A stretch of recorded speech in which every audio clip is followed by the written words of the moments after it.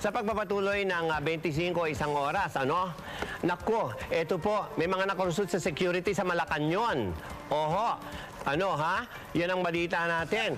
At ah, nakalusot nga sa mga security at hindi nila malaman kung bakit. Eh yan eh, ano, alam nyo ano, ano ha?